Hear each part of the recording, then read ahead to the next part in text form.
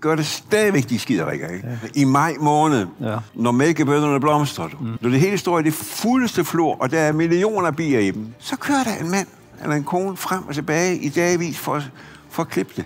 Den klippede græsplæne, ja. den klippede rabat, ja, ja. det er et signal om, at man har orden på hele tilværelsen. Sgu, ikke? Man kan se det i Jylland især. Ja. Ikke? Og de gør det jo, fordi de synes, det er pænt. Ja, ja. Og det har jeg kæmpet imod, det der ordens syndrom i mange år. Den yngre generation kommer, de er ved at lære det, og sådan gør man ikke. Men den ældre generation, dem kan du ikke lave om på.